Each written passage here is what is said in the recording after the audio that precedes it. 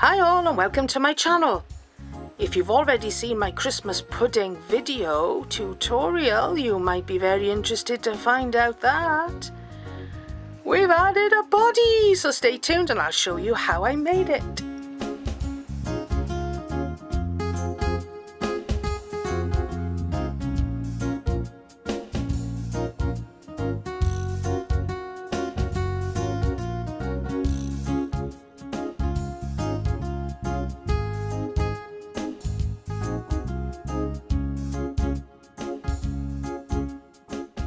So let's make him a body and let's make him into a pudding face.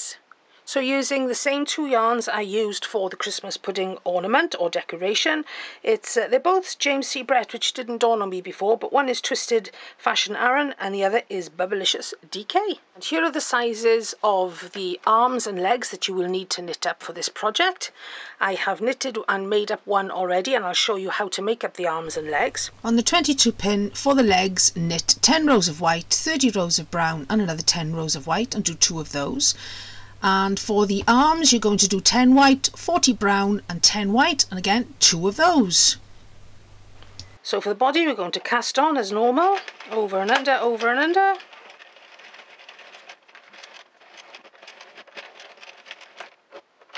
Zero clocks.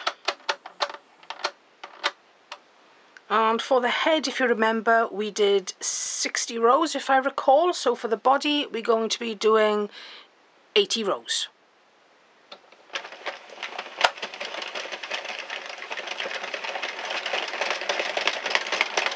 I'll probably pop my drill attachment on shortly and whiz through those 80 rows to save my shoulder. And if you don't know what drill attachment, well, it's a screwdriver attachment, actually not a drill, that I'm using, pop over and have a look at the Christmas pudding ornament video and you can check out which one I'm using. So I'll crank on now and I'll see you near the end just before we cast off.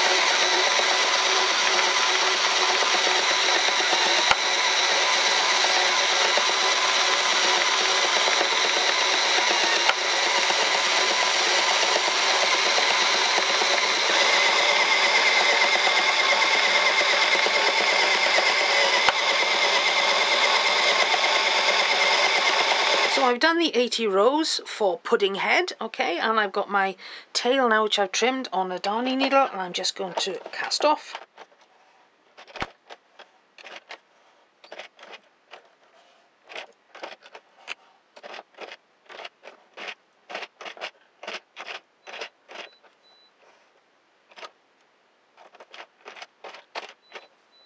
So there's our work off the machine and now we'll move on to preparing the arms and legs and then assembly.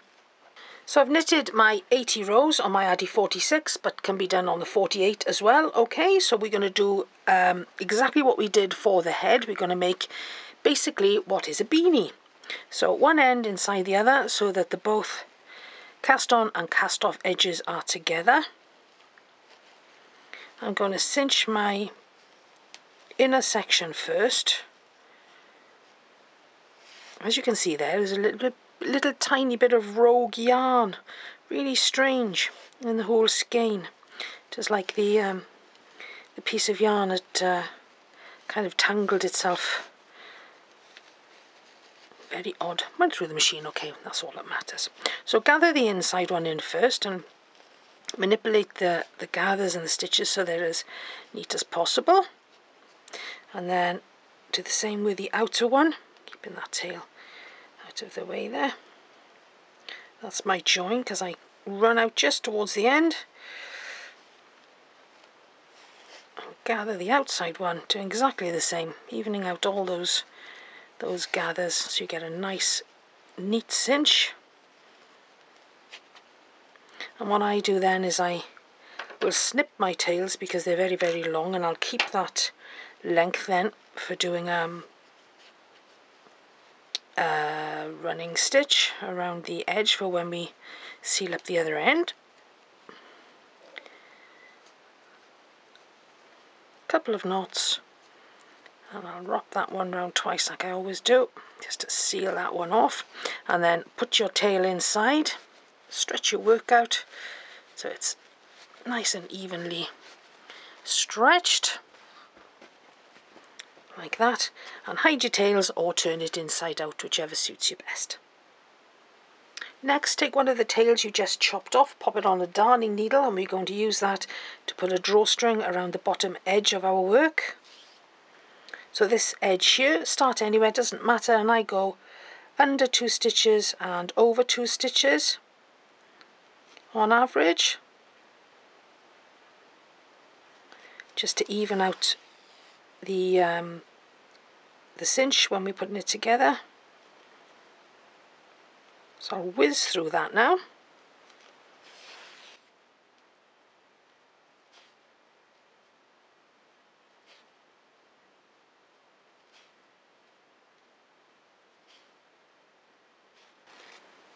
That's our drawstring done. All we need to do now is get our fuzzy wuzzy stuffing.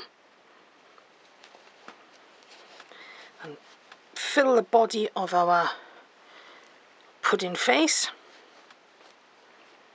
And I like to push it to the outside edges like that to make sure it's all nice and round.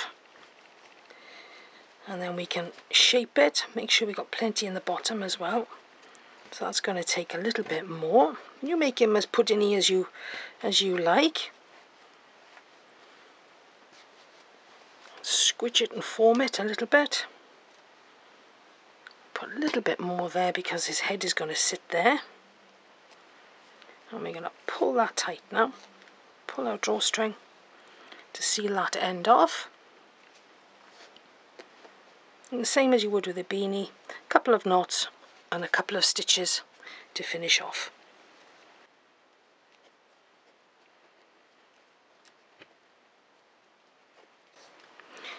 If you get a little hole left like I have there by all means uh, put that on a darning needle and seal it shut.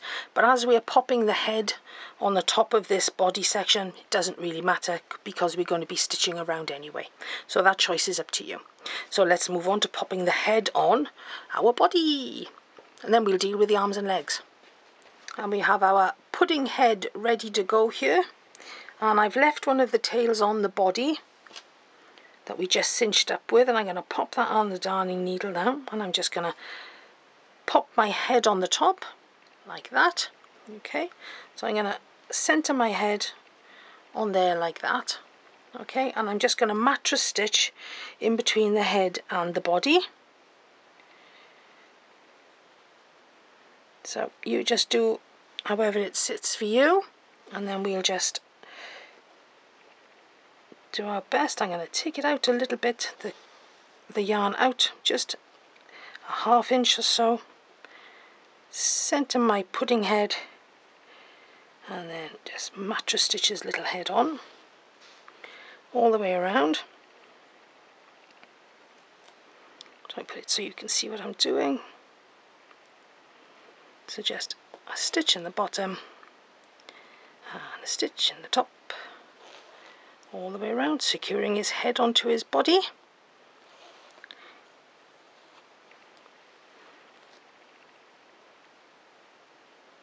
I like to dig in and get a little bit of stuffing if I can because that gives me a really good um, anchoring then rather than just relying on the the yarn to take the uh, the strain as it were. So I'm just going to roughly do it and I'll probably go around again then and do some finer stitches but just to attach it on for now. That'll be adequate and he's looking okay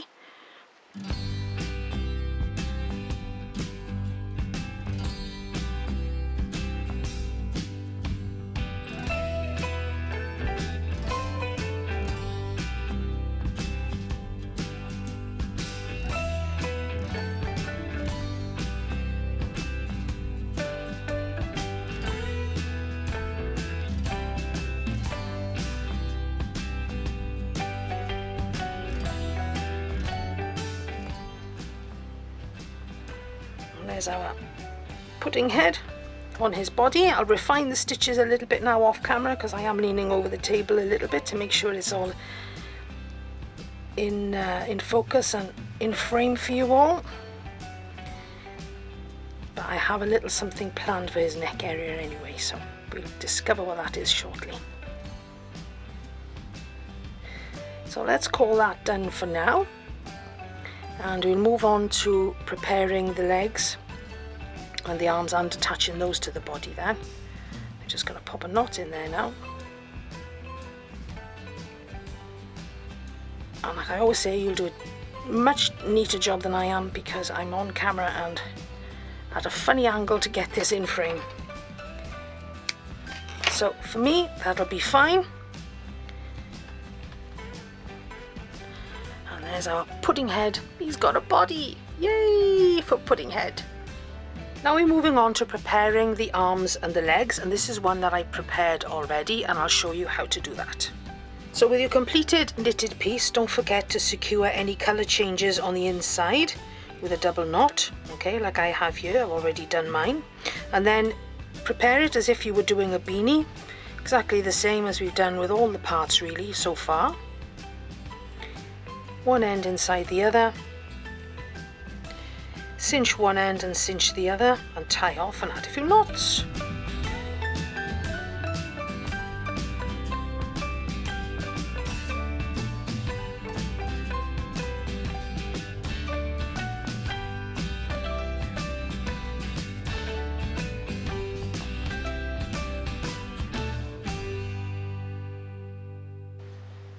and then hide your tails inside or turn it inside out whichever suits.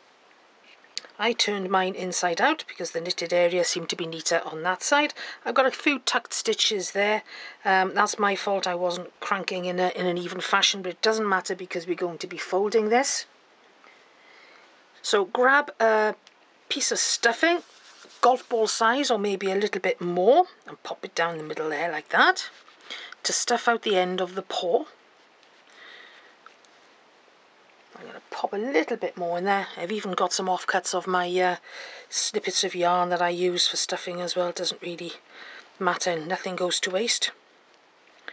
So I'm going to pop that there. And then what we're going to do, because I've got a few tuck stitches, I'm going to look for my neatest part. It's about there, that'll do. And that'll be fine and dandy. Push that down there like that. And we're going to fold in half like that and use some stitch markers if you like to work that way. I'm just going to go freestyle. I've got a knot, just happens to be a knot on the end of my yarn, so I'm just going to use that. I'll tuck that in there. And I'm going to pick a line and stick to it as much as possible up here because it's difficult to see and just mattress stitch up the length closing it off into a nice little tube and you do this then for the other three legs as well. Obviously they're different lengths but the process of assembling them is exactly the same.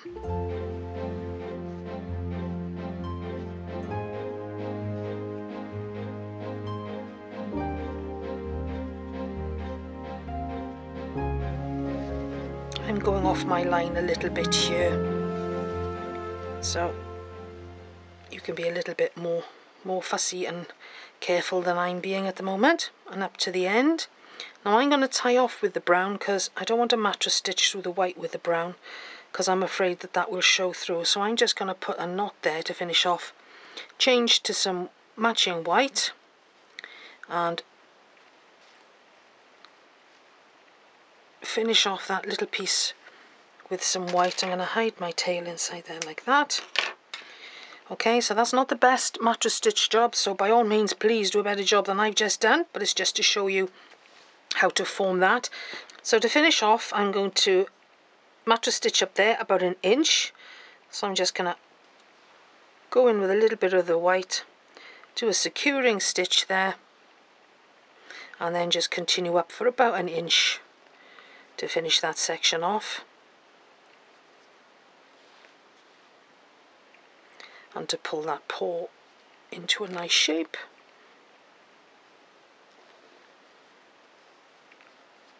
Flatten that out then. I'm going to put a little stitch there to hold that. There's not much further I can go really.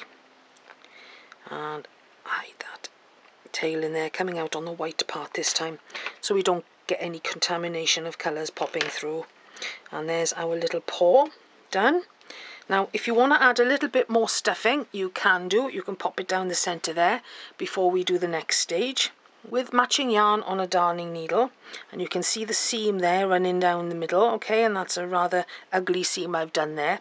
But moving on um, flatten the work at the top okay? And we're going to seal this end shut in a flat fashion okay? So just stitch across the top like that just um, an ordinary slip stitch all the way along the top. Closing that off as close as you can to the top. Don't go too far down the knitted section. You'll end up with it with a bulky-ish seam.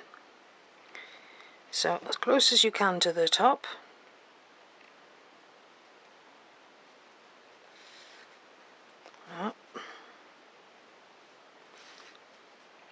Closing that off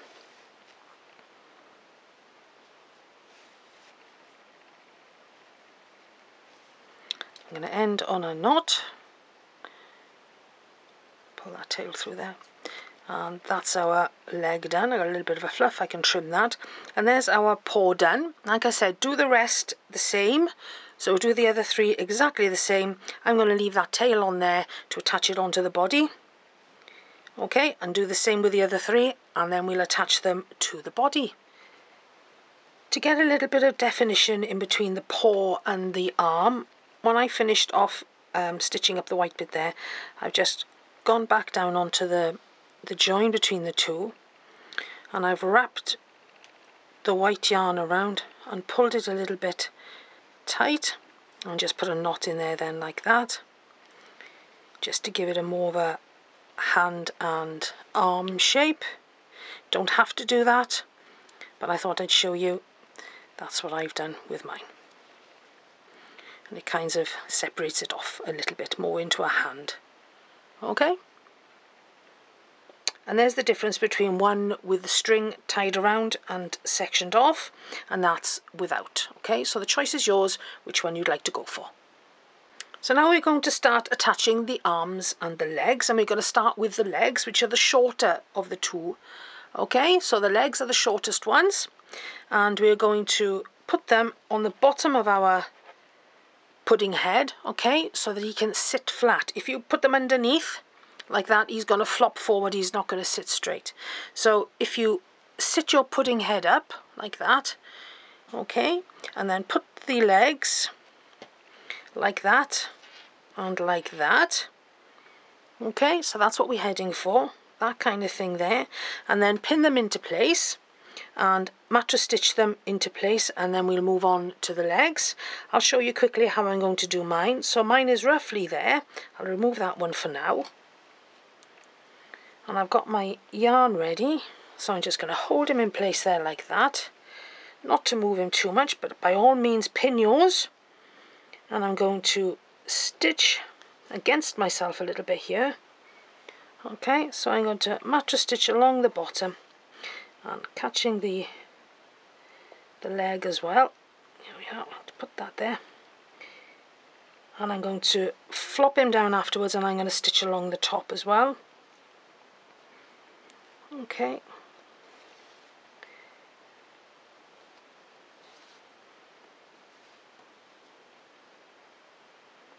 Because we want our pudding head to be able to sit up nice and straight and flat on a surface.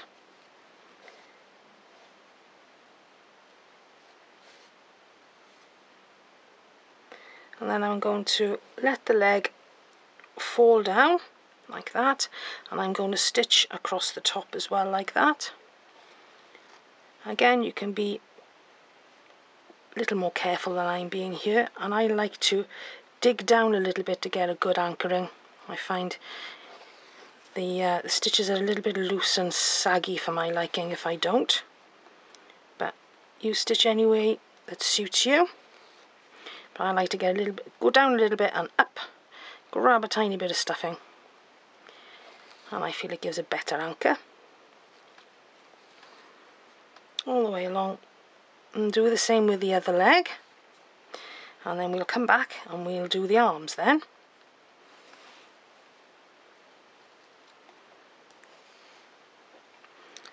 Around under there now to the side. To the side a little bit back under the back. And the underneath and we'll secure off and hide our tails out of sight under there. In there like that. And if you want to put another row of stitching in to make doubly sure and carry on and do that. But I'm happy with that so I'm just going to put a knot and hide my tail I'm just going to feed it up inside the leg like that. And chop it off. And there's one leg attached looking nice and also moves. I'll attach the other leg now and then we'll do the arms. Now that his little legs are attached, we're going to move on to the arms, okay? So when he's sitting upright, he should have his little legs sticking out at those kind of angles there, all right? If that makes sense. From that angle, it's difficult to show you on camera, really. Make sure when you're lining up your legs as well to make sure that they're central with the face and the head. I don't think I'm bang on, but um, it's adequate for now. So let's move on to the arms. Now the arms are the longer of um, of the four items that we made okay so put your um, yarn on a darning needle and we'll stitch on. Now where you place your arms is going to be entirely up to you okay? I'm going to show you where I'm going to pop mine. Now you can put them there if you want to okay? But I'm going to pop them under his neck like that a little bit because I think that's kind of cute okay? So that's where I'm going to be popping mine. If you can see there there's his leg there. So I'm going to be coming up the side of his leg a little bit and up like that if that makes sense and I'm going to stitch in the neckline there using mattress stitch again. Okay so one arm will go there and one arm will go there. That's my that's my choice for doing the arms but by all means you can move the arms down there if you want to. I think that looks a little bit odd it doesn't suit him quite so much. I think popping them there makes him look really cute and cuddly. Okay so that's what I'm going to do. I'll put one on while you're with me and then I'll do the other one off camera speed up the video a little bit so I'm going to line him up with the edge of his leg there roughly straight up and tuck him under his neck there Again, I'm working against myself a tad, but I'm going to open up that neck a little bit and stitch in there. Mattress stitch, oops, my hands are in the way. About one stitch on the bottom, one stitch on the top.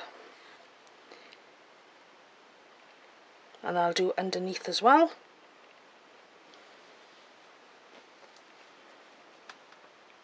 So you may need to push on your body and your head here in order to get the needle in because he's a tubby little pudding this one and I think he's looking cute but I've got a nice little embellishment to add. And we'll run through that now once we've put the arms on. And I've not tried the idea before. So fingers crossed it works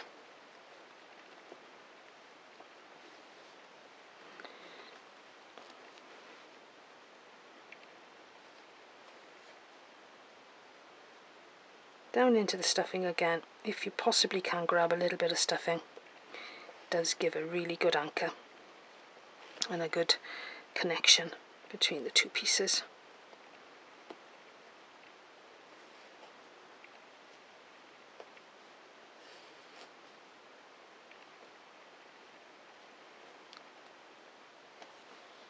Now I'm going to pop the arm up and I'm going to fasten it underneath the arm as well just mattress stitch all the way along. Making sure that that seam is facing the body okay? Seam downwards same with the leg seam downwards onto the floor. So we hide that um, seam out of sight from the main body of the project. So my mattress stitch is a little bit um, ad hoc and large. I'm not sticking to stitch by stitch or row by row. This yarn is very forgiving to my uh, lumpy mattress stitch, which is great. coming back up to where I started from now so I'll just put a, a knot in there and hide my tail so just do a knot there now hide my tail pop that to the body this time. Snip that off. And that's one arm connected. And looking really cute and sweet. And now we'll attach the other arm and I've made a little collar piece and all I've done is on my 46 I cast on with green and knitted 12 rows changed to red and knitted 6 rows changed back to the green knitted 2 rows. And it's an ordinary cast on both ends. And all we're going to do to make this into a, a little pretty collar is we're going to gather both ends up. Not too tightly at, at the, this point in time Okay, as if making a, a beanie, that's the idea. And then we'll um, fold the one end inside the other, like that. So fold the, the 12 rows up to the other rows like that. And we'll end up with a pretty little collar for our pudding face. And we'll fit that to him now in a minute. We don't want to gather it too much because we're going to pop it around his neck and gather it up and tie it off at the back. So here's our pudding face and here's our little collar we've just knitted up. So it's a little bit messy at the moment, but don't worry about that. It'll all come together now in a second. So put the ties or the tails at the back. Keep it folded in if you can it is a very small fiddly little piece. And we're going to pop it up through his legs. I think that's easier rather than pulling the head around too much. Just going to pop it up there. One arm through and then the other arm. Rather than disturb the, the pretty head that we've done. Okay we don't want to damage anything there. Move the tails to the back and then it's just a little bit of primping and fussing until we get it where we want it to be. Grabbing our tails, gathering it in and tying it off. Simple as that really. It's nothing super complicated.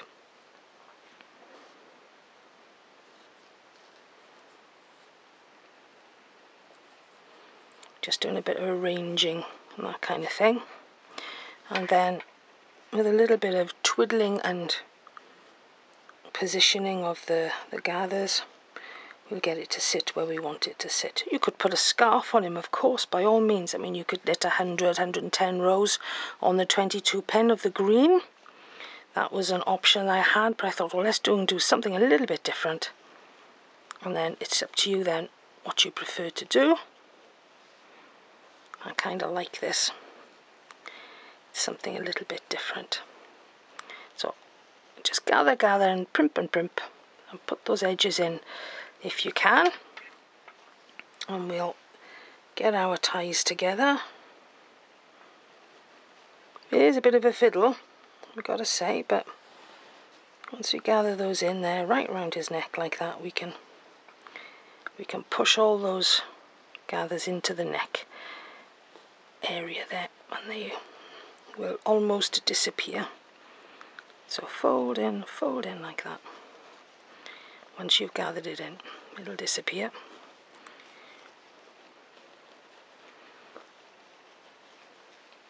And you'll end up with a pretty little ruff. So I'm kind of more or less happy with that now. And if you wanted to finish it off just a little bit more, you could add a little bit of ribbon around the neck area as well, which I may very well do in a minute. Let's trim this super long tail off, which makes it difficult to tie. So a nice tight tie, like that. Around twice like I mostly do. We can trim that tail off later and just push those gathers in into the edge there like that. Position them and position them. There you go. And they're all tucked into that neck cinch and you can hardly see them at all and I think that is adorable now add other embellishments if you want to I'm going to hide that tail in a minute. I'll just add it onto a darning needle and just pop it through into the body or the head of our pudding face there. Okay, so as you can see, they they are quite nicely hidden in there. Like that. So it's all about positioning. There's a nice uh, neck crease in order to hide those gathers in there and as you can see there it's looking quite neat and tidy all you can see is the line but if you want to put um, another little bit of ribbon around there you can by all means and apart from that I'm moving all my rubbish off my table I would call him done and I hope you like this project. I may add some uh, little baubles on there. I have got, and I'll show you now quickly. I have got some of these fuzzy little little balls and so I could pop them on there. I don't know whether that's maybe too much because it's not quite the same red. And the other thing you could do is you could maybe pop some little red buttons like that down his middle if you wanted to add something else. That's an optional extra for you. So I hope you love pudding face because I think he's absolutely adorable.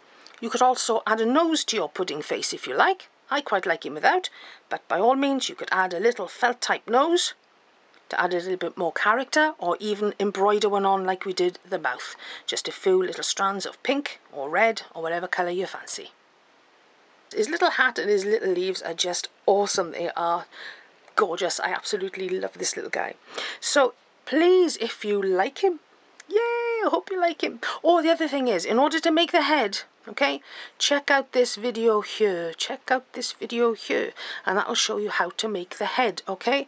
It'll also show you how to make the pudding head shape in another two sizes which you can use for an ornament or um, some home decoration over the festive season okay? So if you do like this like I've already said please give us a thumbs up. Yay! Thumbs up thumbs up thumbs up for pudding face. And subscribe if you haven't already if you have subscribed, thank you ever so much. Your continued support is very, very much appreciated. And if you do make and sell any of my patterns, please would you please please please consider giving a little donation to a local no-kill animal shelter the lo local ones are struggling and even a few pounds or a few dollars would go a long long way and if you like my patterns as well please can you tag me when you post on social media Crafty Caz 33 on Instagram and Caz Harris on the Facebook knitting groups. That also would be very much appreciated. Okay, thanks guys. I'm off now and I'll see you very soon. Enjoy and be good to yourselves. Bye for now.